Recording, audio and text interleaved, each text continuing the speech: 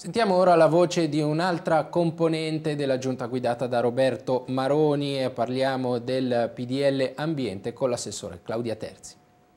Assessore Terzi, lei ha relazionato oggi in Consiglio sul progetto di legge ambiente che è articolato in quattro punti, ce li sintetizza? Sì, sono quattro punti a cui teniamo molto, in maniera differente ma teniamo molto. Il primo punto riguarda sostanzialmente la messa in legge di quella che è stata la moratoria che la Giunta ha varato alla fine di, di luglio di questo anno, quindi eh, delle, degli ammodernamenti legislativi, quindi degli aggiornamenti legislativi e d'altra parte la presa eh, d'atto del fatto che in Regione Lombardia non servono ulteriori inceneritori. Il secondo punto riguarda l'IMV, il deflusso minimo vitale, cioè quel, quell'acqua che necessariamente deve rimanere dei, nei fiumi per fare in modo che eh, venga, che, insomma, la, la, fauna ittica venga mantenuta, mantenuta, in vita e che è collegata quindi all'utilizzo dei fiumi e delle sorgenti eh, delle, delle, nostre acque eh, utilizzate per le, le, centrali idroelettriche. Quello che abbiamo inteso fare oggi con questo provvedimento è quello di imporre al concessionario a sue spese un controllo costante affinché quindi non si verifichino più quegli episodi che più o meno casuali in passato hanno portato alla,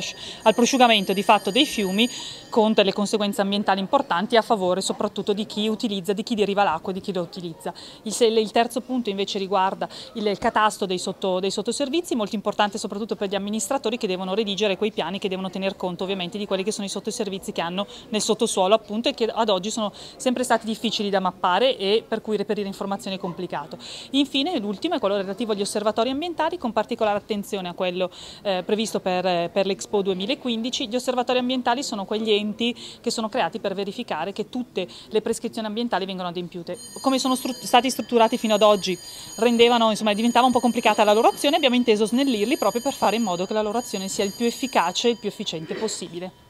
sarà messo in votazione oggi? Sì, stiamo discutendo, abbiamo avuto qualche, insomma, qualche discussione con il centro-sinistra che ci ha opposto, ci ha eccepito sostanzialmente il fatto di aver messo troppi argomenti in un unico PDL, noi tenevamo a, a, a portarlo il prima possibile, li abbiamo accoppati perché comunque tutti coerenti e regolanti in qualche modo la questione ambiente e volevamo assolutamente, ci tenevamo a metterli in discussione il prima possibile proprio per evitare lungaggini che in qualche modo potessero andare a favore di tutti ma non dei cittadini lombardi.